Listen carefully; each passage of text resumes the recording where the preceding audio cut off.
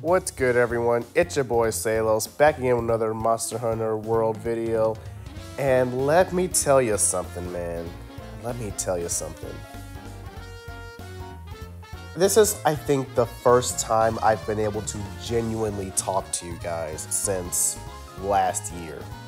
So I just want to first off just just apologize that I haven't really like I know that I've been sitting on this stockpile of recordings, and I feel so bad about it. But so much came up, so much, so many un unforeseen things happened. Uh, when the holidays came out, I was working overnight. I was trying to help get management under control at my job. I was doing things with my family.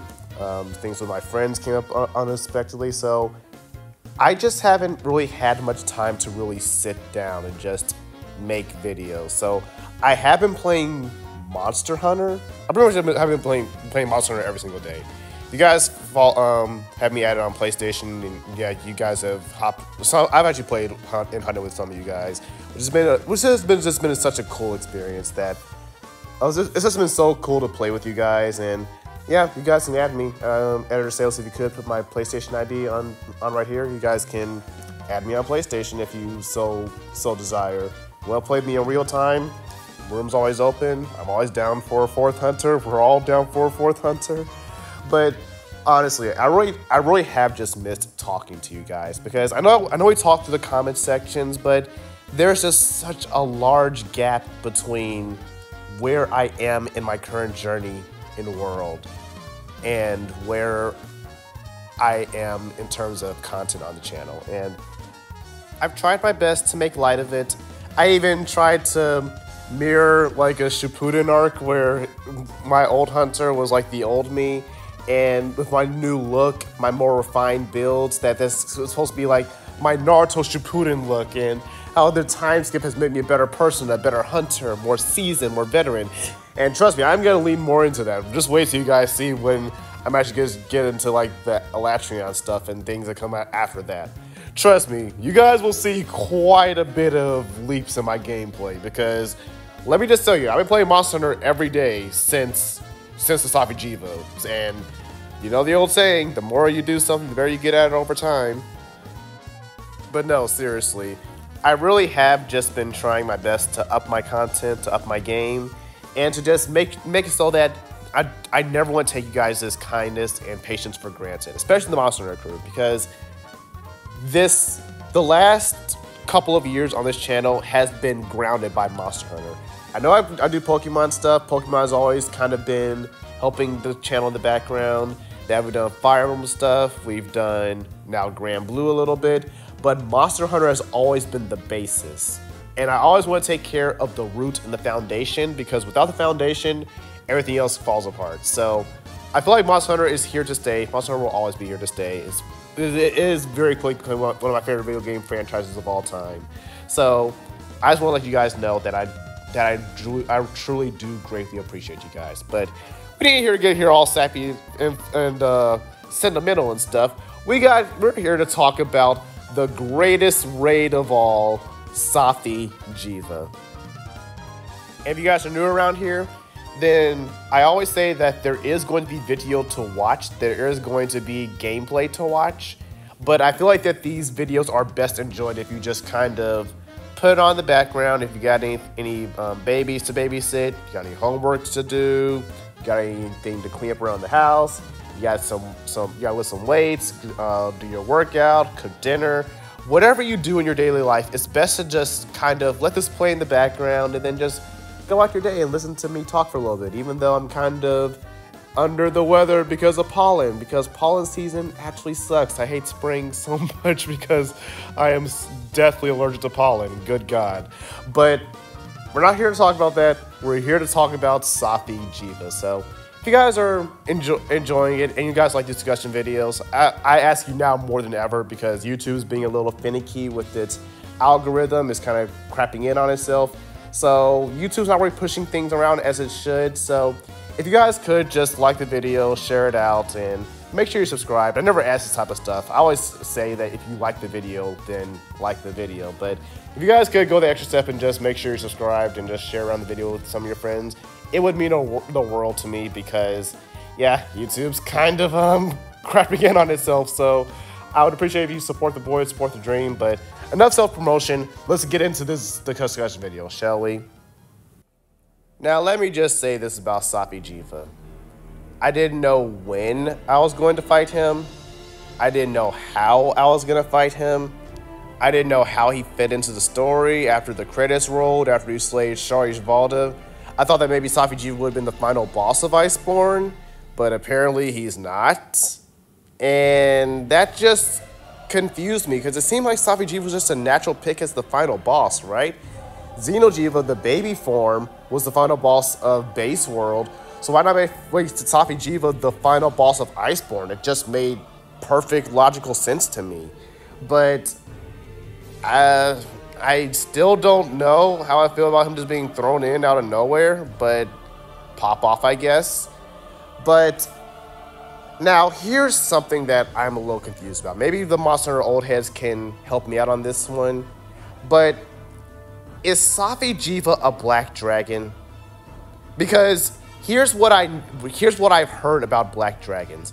That black dragons is pretty much I won't say it's a fan term, but it's kind of like the word Voldemort, where it's so feared and it's so reserved that they don't speak it because it's just it's just something that's understood but it's never told. Like you will never see the term black dragon in a Monster Hunter game.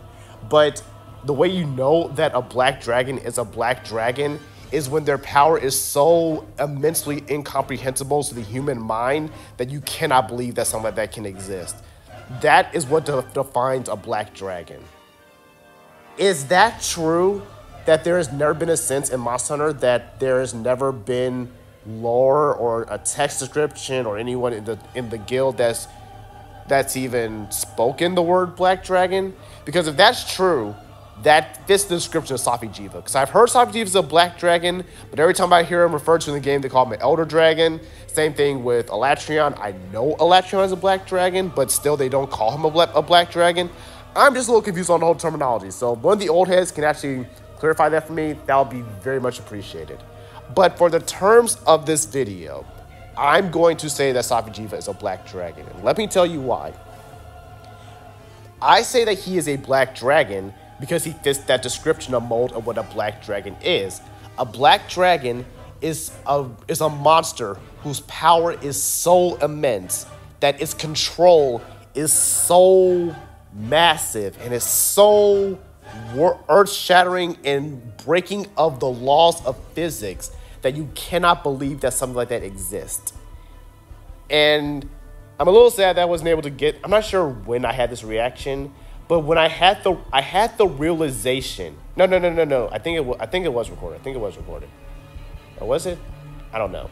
Anyway, when the moment you found out that Safi Jiva created the the guiding lands all the amalgamations of all of the, the biomes in base world that he created that. He can create realities ecosystems.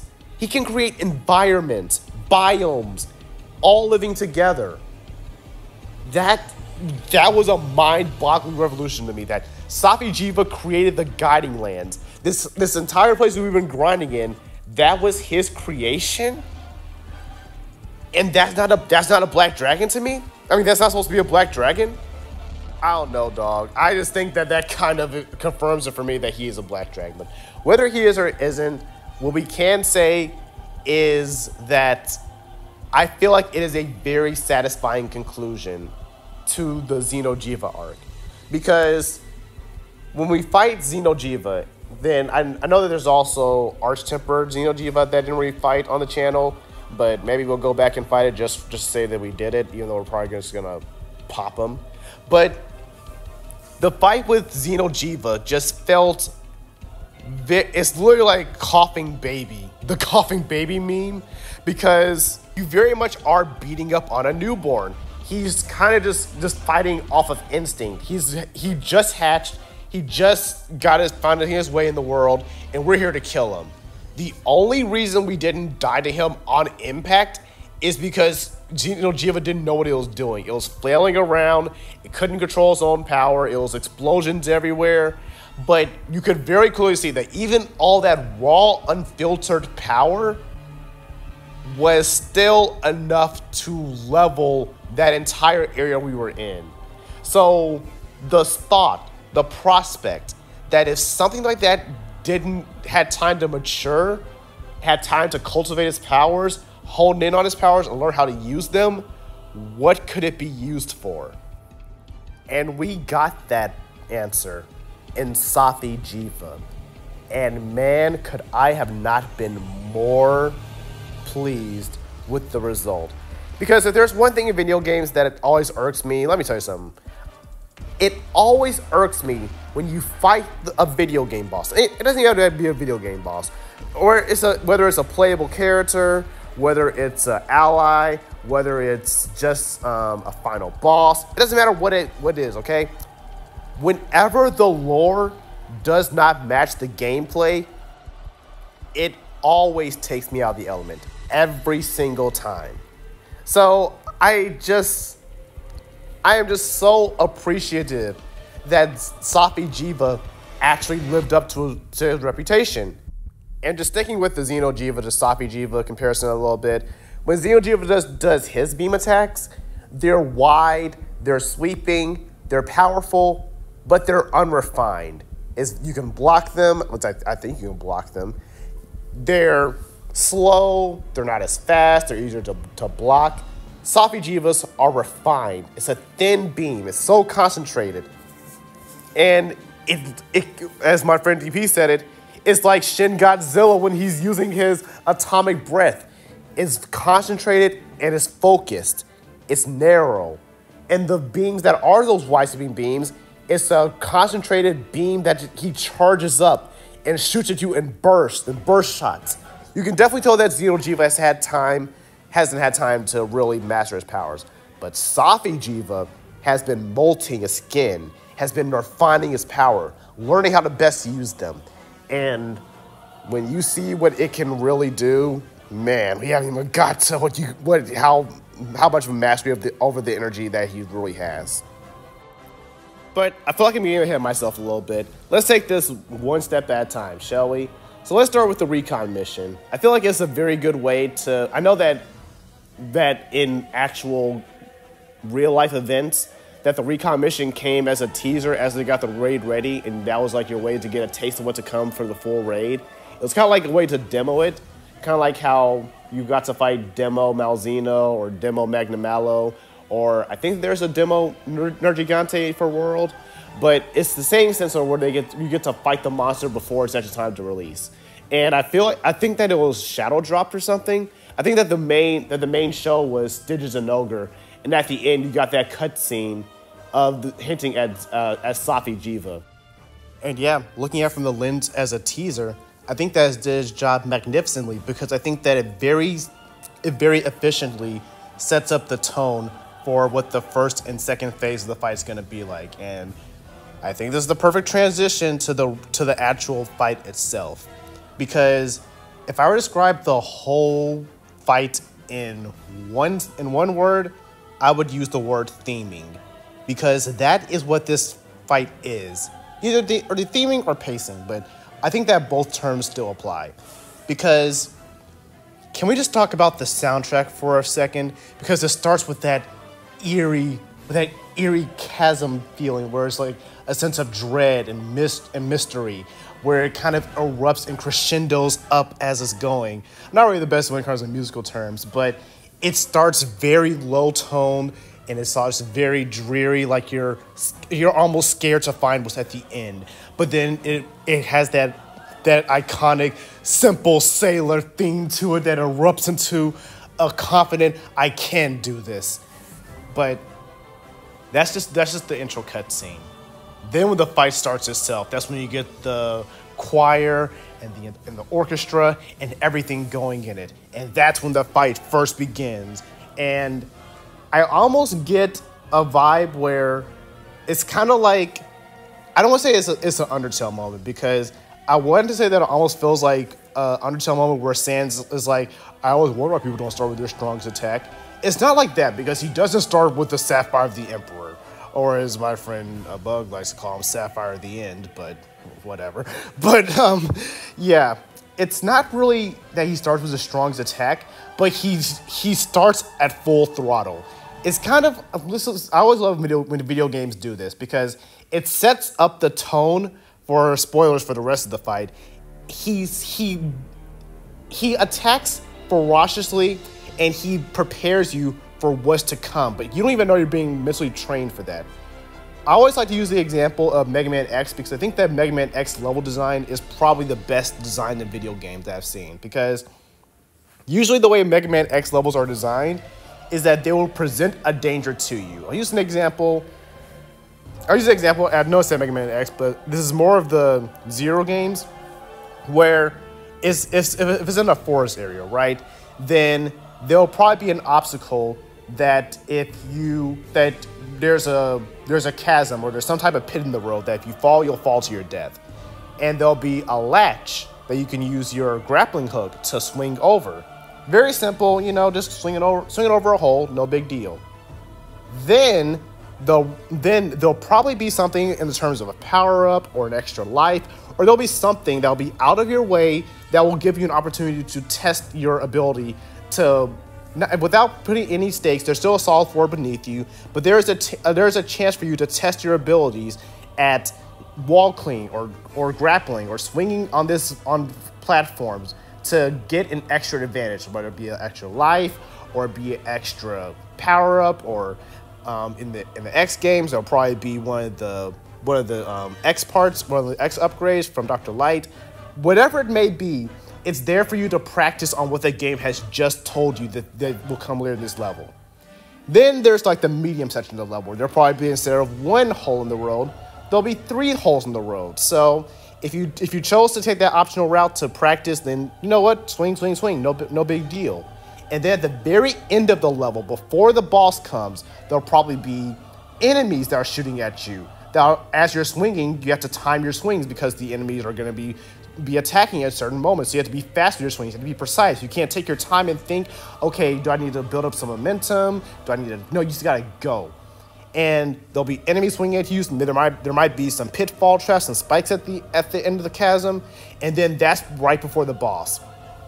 That I think that's that's a very safe way to do level design, where it presents a danger to you in a very safe and controlled environment.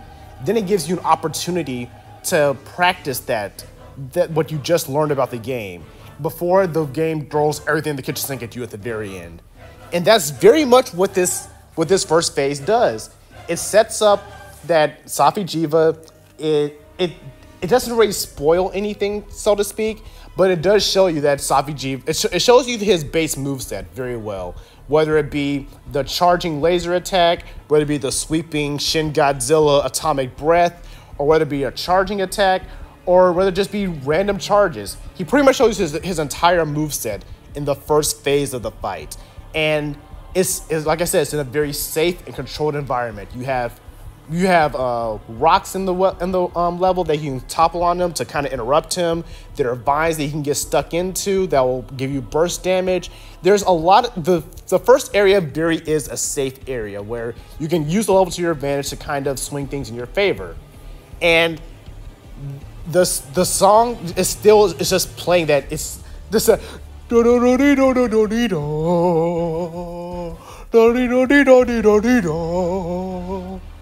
Who's laughing now? Zulu says who? I'm not I'm not singing this correctly at all. But you guys know what I'm saying, right? It's just such a cool feeling. And the song just perfectly matches that. And think I talked about the first level enough, but then you then you finally get to repel him a little bit. And after he's drained all the energy from the first level, he ascends deeper to find more energy. And he knows that he Safi'jiiva is a very smart creature. He knows that that you're trying to get him to drain all the energy in the area so that he can't heal anymore. And you can finally get, get to get the killing blow on him. So he starts to amp it up a little bit. This is where you get the realization. This is where you start to, to actually get the sap this um sap what is it? The um, Safi Jiva's Ire, I think it's called. But that's when, it's, when it gets the chance to actually target a player. And that is, I don't know, Safi, Safi Jiva's Ire is such a weird mechanic because I always hear mixed, mixed receptions on it, but here's my personal take on it. I think it's an ingenious way as theming, like I've been saying, theming and pacing are the perfect words for this because I think that that these bosses, at the time of this recording, I have not fought Fatalis, so I do I cannot confirm this, but this is just my suspicions about what I've seen the game has done up until this point. That it's training offense, and sorry to pick on you, Bug, but I'm gonna use my, my friend a Bug here because he's, he's one of the people in our hunting groups. We all are, we all have our strengths and weaknesses, so this isn't any fault to him. But his one of his um, one of his weaknesses is just being able to push the offensive because he's very he's a very defensive player. I don't want I don't want to say he's passive, but he very much holds his ground. He very much likes to stand and deliver, wait for an opening, and then punish, which is why I recommend a great sword for him because that's literally what great sword is. It's literally a bait and punish weapon. So he's kind of found some ground in that, but he's found he's definitely found his stride in the insect glaive. But Safi Jiva really challenges you to go beyond your limits. And it's not really to the extent, and I say that I think that it's trained you in the same way that the that the pacing is, because the immediate next fight you fight is Alatreon. And Alatreon, you have a DPS check. And not just a DPS check, you're on a timer to meet that DPS check. You have approximately six or seven minutes to meet the DPS check. And being that you're on a timer, if you do not meet the DPS check, it's an instant one shot. If you're in a party of four or you're in a party of three, that's a game over. So it's not to that extreme just yet with Safi ire, but it's it's mentally training you to stop attack because the way the Safi ire works is that you have to constantly hit the monster. You have to you have to hit it enough to keep his attention and you have to do enough damage so that he can keep your attention, he doesn't lose interest, so that your other party team members can go for the go for the seizure wars. Whether you need to break a wing, break the back, break the tail, break one of the hind legs, it's so that your team you're literally giving your teammates an opening or giving your teammates a breather so that they can do the damage while you're just keeping his attention. It is mentally training you for to to keep going and push your offense because when the last round rolls around, you would have mentally trained yourself to keep going, keep pushing because once you understand that Alatreon has a DPS check, that once that clicks in your mind, you're like, okay, I gotta go on the offensive. And that theme, that theme of offense was Safi Jiva continues to play out. And like I said, it's not really to the extremes of Alatreon, but this is a 20 minute siege. So you don't have all the time in the world of a, of a 50 minute hunt. You still gotta, gotta move and hustle. But I say that is not as extreme because there is no punishment if you don't hold, hold his attention. It's no big deal. You can still continue with the siege. You're not gonna lose the quest.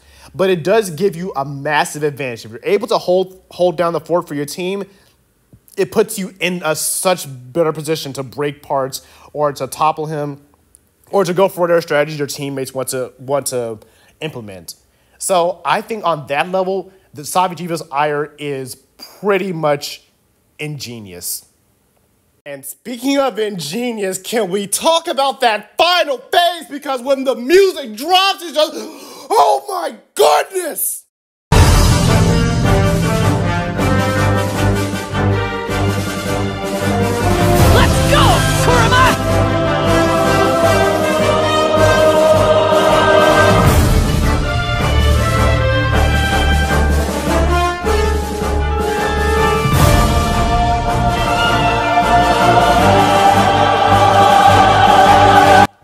Think I might have overdone it with all the yelling right there because my throat is actually in agony right now.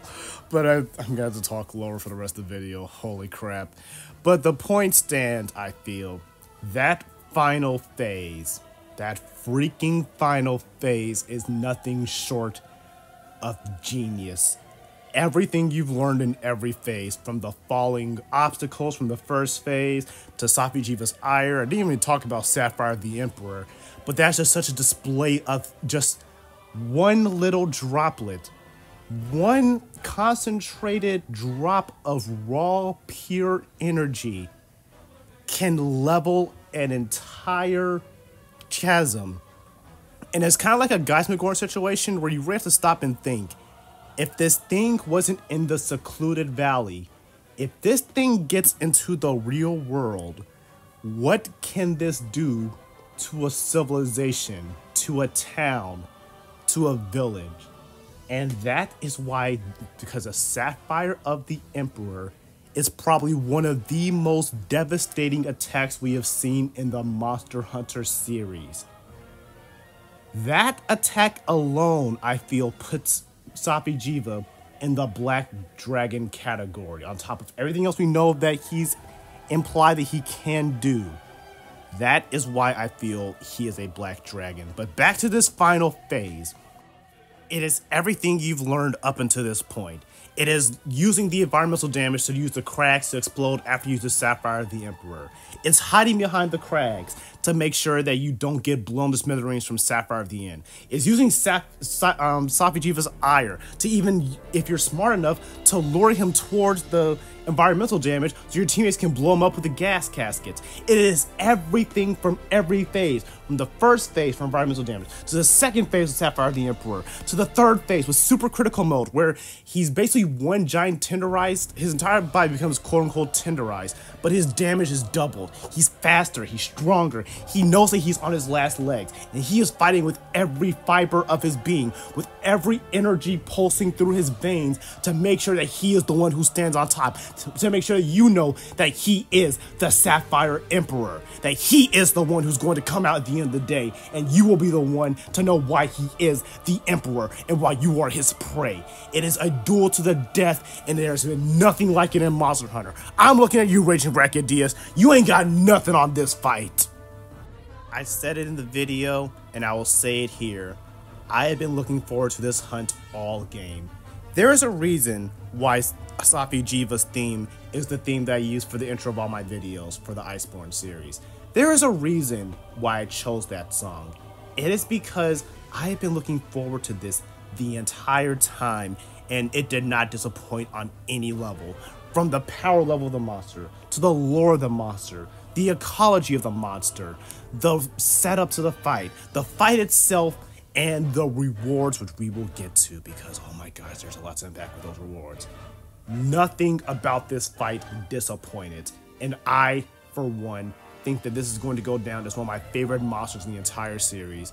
And I know it might be a while for, for him to come back because he is an entire siege monster, but when he does come back, I will be awaiting for my rematch, and I know our fight will be legendary. But holy smokes, we've talking about the rewards. What do you get for beating the Sapphire Emperor? You get one of the most customizable weapons in the entire game, the Safi weapons. And I, I know that if you look at any guide out there, they'll pretty much all say the same thing that it's the Sop is Safi weapons or go home. And that's because the soppy weapons are probably some of the most customizable weapons in the entire game. You need thunder weapons, he got you. You need status elements, he got you. It doesn't matter what you need, there's a soft weapon that will fit your need. You need it to be elemental based, he got you. You need to be probably less focused on element, more focused on sharpness, sure, no problem. The only thing that I will say is that people act like the Safi weapons are the only weapons you can you should consider, and that is just simply not true. Because there are still indications, there are still situations, there's some monsters and some matchups where the Safi weapons may not be the best pick. I'll use Alatreon for example. Alatreon is all about elements. You need to do elemental damage or go home. And the king in that case in elemental damage is are the Kulve weapons. Because Kulve has a little skill called Critical Element, which basically amplifies all of your elemental damage. And that's going to help you significantly being that DPS check. Will do on average, do the Safi'jiiva weapons do more damage? Probably. I'm not really a math guy. Uh, I took a calculator risk on a lot of these fights in World, and let's just say I suck at math. So, um, maybe I'm not the best to talk to you about numbers, but if I were to just go with my gut and just by just how the weapons feel, I'm pretty sure that nine times out of ten, the Safi Jiva weapons might be the better overall in terms of just doing damage if you build them correctly. However, on when you're going against monster like Alatreon, who doesn't really care about your raw damage or raw based uh, base values, and element is all that really matters at the end of the day, then yeah, Kulve Taroth is gonna be better all the way. So I say that if you want a very comfortable weapon that fits your playstyle more, the Safi Jiva weapons are probably to be the last weapon you'll ever consider. But if you look at Raw, um, well, I think you, I think anyone playing knows who the best Raw weapons in the games belong to. But generally speaking, they're not bad weapons, and the one thing that really sets them over the edge is something I've even talked about is the fact that they can have any armor bonus in the game. You need Velkhana's Frostcraft? No problem. You get Velkhana's Divinity on on the on the actual Safi Jiva armor because manifestation, manifesting your own reality. That's Safi Jiva's whole gimmick. The only thing I will say though is that you can't stack them. You can only use you can only have one one armor bonus per per Safi weapon. So let's say that I want to use Velkhana's Divinity. If I want to use if I want to use Frostcraft, I don't have to wear four armor pieces anymore. I only have to wear three because the weapon will count as one of the four armor pieces required, but I still need to wear three pieces of Velkhana's armor to get Frostcraft. That's kind of how it works. That it's it's still kind of balanced in that sense. That doesn't give it to you for free because if it did, good God, what game is this? Monster Hunter Rise. But it still is. It still does give the Safi Jiva weapons a little bit more comfortable flexibility. That if you want a weapon that you don't really think too hard about, and it's perfect for build for build flexibility because it opens up your armor skills to you're not you don't feel as restricted it's as locked into different weapons and different armor skills that you don't have to wear four out of five pieces for Velkhana's gear. Now you only have to wear three pieces so you could wear that that really good you can probably now you can do things like to have frostcraft you can wear the Safi Jiva armor three pieces of Velkhana, and two pieces of Raging Brachydios, so you get both Frostcraft and you get and you get Adversary's Secret. A very powerful combination. That's just one example of what you can do with Safi Jiva. Really, the sky's the limit, and it's just a matter about how much grinding you can do because you have to basically play through raid more to unlock the weapons. I'm not going to talk about all that here because um, that can be a whole video for itself about that. There are very good guys out there. I'll probably link, link a few in the description if you want to know exactly how the Safi Jiva weapons work. But just know the sky's the limit and the only limit really is your imagination. This really is for people like me who likes to get down, get messy, and get creative. That is why I love these weapons because they allow for build flexibility. And that is what I strive for. I love making builds. I love, I have probably four or five rows of just builds from both my charge blade and dual blades just all set up because I just love building builds. I love theory crafting. I love making move sets in Pokemon. I love making builds in Fire Emblem. It's just what I live for. So this is this armor, these weapons were made just for me. And we had to talk about the armor because Good God, that armor. Now, with my Rise background, you know I have to compare it to the skill Dereliction. Dereliction is the armored skill associated with the final boss of Monster Hunter Rise Sunbreak, Gaismagorn. And basically how that skill worked, that very much leans into the, the scroll systems that is in that game. Pretty much um, scrolls, you can think of them kind of like, um, what were they called back in back in Generations? Hunter Arts. Yeah, there we go. Basically, all weapons have a pre predetermined list of of weapon skills that you can use, but you can only take so many of them into battle. So it's kind of like Pokemon in a sense, where Greninja can learn a can learn an array of moves, but Greninja can only take four moves into a battle. Does that make sense? And does that make sense a little bit? I'll use a more practical example with Charge Blade because I think that's probably the best sense to use because I'm because I've been on this Charge Blade journey. So let's say that you have they have skills that are tailor made for the super amped element discharge playstyle, or they have skills that are more towards guard pointing. So let's say I want to make a playstyle that's that I don't I don't really care about the the um, axe style. I just want to be the best sword and shield charge blade user I can be. I don't really care about the transforming aspect. I just want to use Sword and Shield 2.0. There are skills that can improve your guard pointing. There are skills that can instantly fill your phials so you can charge your sword more. And it leans into that Sword and Shield playstyle. But now, when you when you swap skills, let's just say that just just for mobility's sake, let's say I want to lean more into the Savage Axe style, or as the proper name is, Power Axe style, which or what is this called, Savage Axe? Let's, let's be honest, it sounds so much cooler. And you can then swap your skills. So now that all those skills that were catered towards guard pointing and catered towards filling your phial so you can keep your uptime on your on your sword and shield. Now they it can be used for a Savage Axe. You can have more build more mobility with your axe. You can transform faster. You can have new moves that are only accessible when you're in the Savage Axe playstyle. You can have both those playstyles to you, and you can swap between them on the fly. That's essentially what the scroll what the scroll system is. And the way Dereliction interacts with that system are that when you're in the red scroll, I believe, Actually, let me pull this up to make sure that I don't make any oopsies. Yes, the red scroll, when you're in your red scroll, that's when you have increased elemental values. But when you swap to your blue scroll, that's when you have more raw damage. So it doesn't matter which one um, on if you're if you're more towards an elemental playstyle or more of a raw damage playstyle. If it's it caters to both playstyles, and you go up to plus 30, I believe. You get plus 35 to your to your raw, plus 35 raw when you're at max with a skill, and you have plus 20 element to your to all of your elemental damages. So yeah, it's a pretty nice and sizable boost. Kind of similar to the Safi Jiva armor.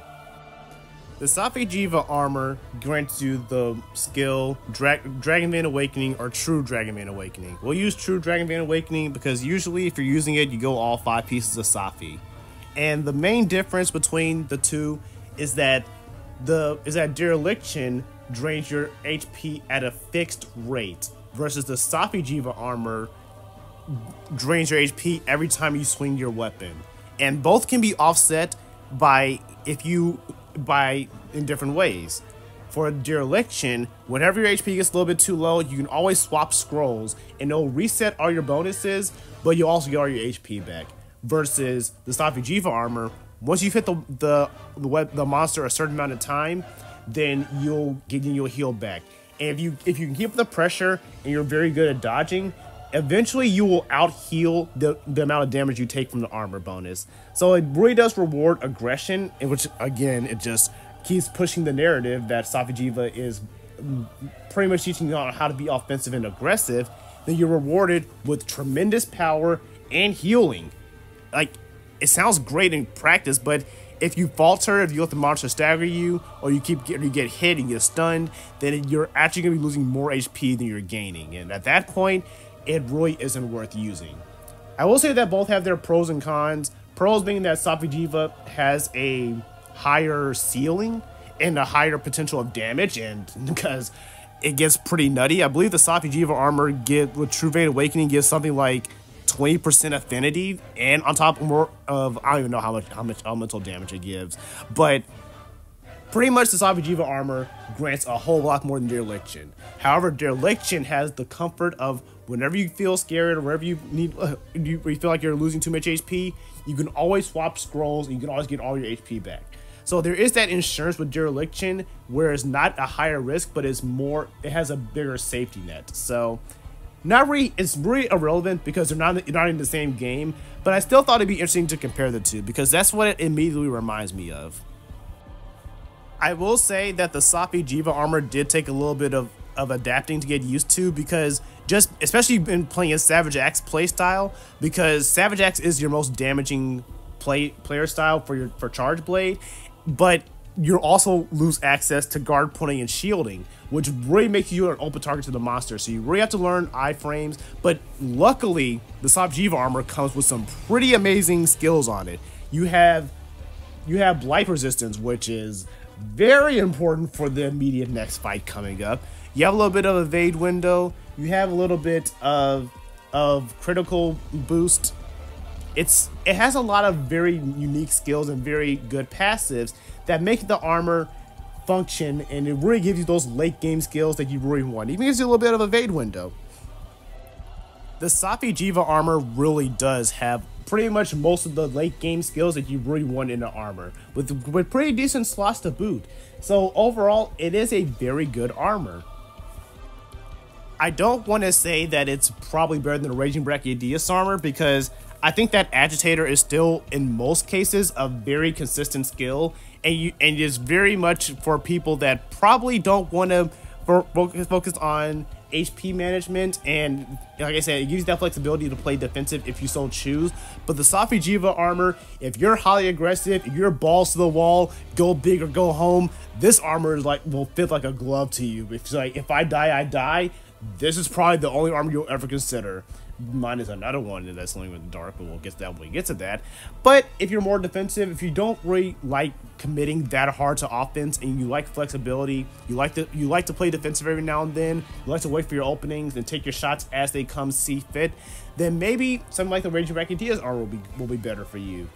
But overall, this is definitely one of the best armors in the game, and arguably one of the best armors in the series. Now for the rating. I think that I've spoken enough about the hunt itself. What can I say? I'm really, really, really trying not because I really hate giving 10 out of 10s, but I honestly cannot think of a way to improve this. I'm, because if I can think of a way to improve it, that'll give it a 9 out of 10. But I honestly can't think of a way to make this rate any better it really was a perfect experience for me. So I have to give it a 10 out of 10. I hate, I, I don't want to say I hate because that's a strong word. I really don't want to give it a 10 out of 10, but I can't think of a reason why I wouldn't give it a 10 out of 10. The, like I said, the the lore around it is just so amazing.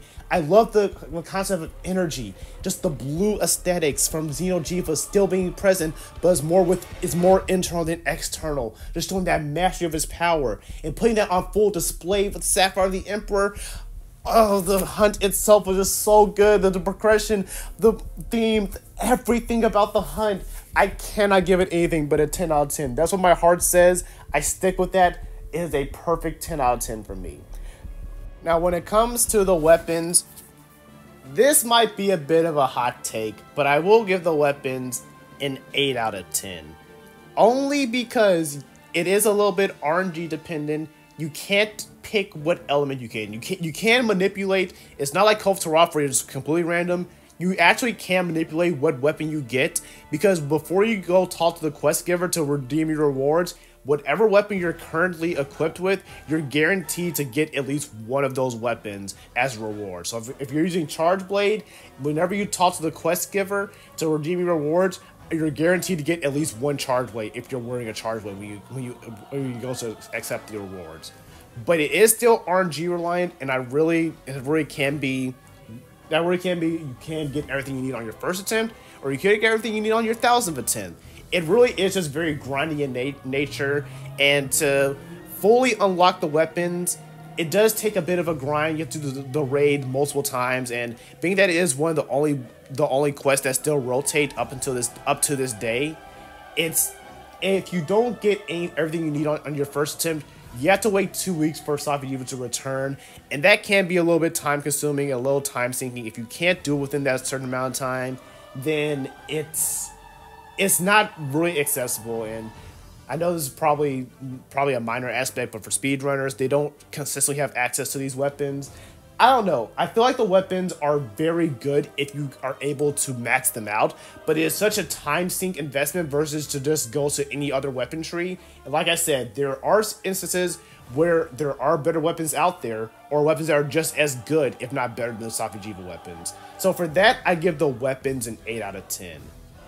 The armor, however, it really is up to personal preference.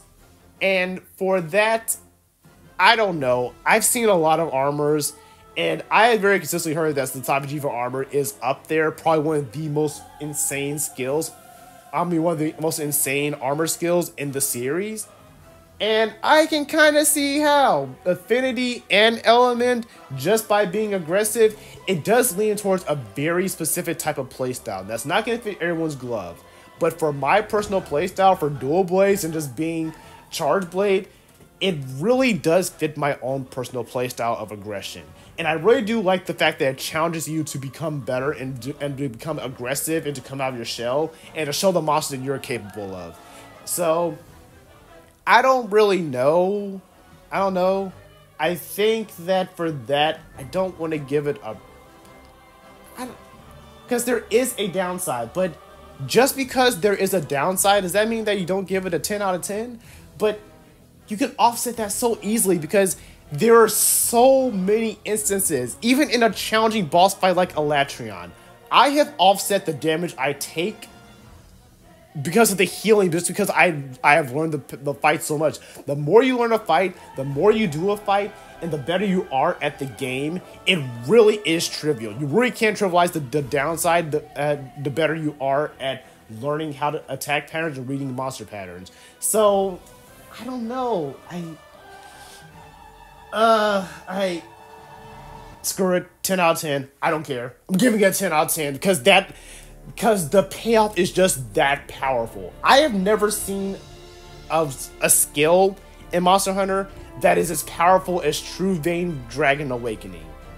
That skill is just bonkers. And if you can really master it, you can hone into it and just lean into that playstyle, the rewards are astronomical. So I give that a 10 out of 10. So overall, I think that averages out to approximately 9.5 out of 10. I think that pretty much, I think that perfectly accomplishes how I feel about this. It's not quite the perfect grade for me, but it's pretty darn close to being a perfect grade for me. So I think that a 9 out of 10 being the mean average for all the different factors, I think that's pretty fair. So overall, this raid is a 9.5 out of 10 for me. I love this raid. I think that is worth. I think that this raid alone is worth the price of admission to Iceborne, and this alone satisfied me playing the DLC for. I am so hyped that you guys got a chance to see it. I am so hyped that it's recorded on the channel. There should be an iCard in the top right corner if you want to see the raid for yourself, how that played out for me in real time, because some of my reactions to this are just golden and priceless. I personally myself, I want to say that all the views on that video, probably about 10% of those views are me because I've rewatched it quite a few times now. But I'm just very proud of how that video turned out. I don't care how the algorithm says. I don't care what the algorithm says. That is my favorite video of the whole Iceborne series. Both in Base World and the Iceborne series, that is my favorite video that I've recorded up to this point. And I am so glad that it's recorded on this channel that I can go back and look at this for years and years to come. But, with all that being said, I think it's about time I finally get about it here because this is probably the longest discussion video I've had up until this point. Holy crap. So yeah, I'm sorry, I'm gonna stop talking. I'm gonna get out of here. I'm about to get some sleep. Thank you guys so much for watching, and I will catch you guys in the next video. Till then, deuces.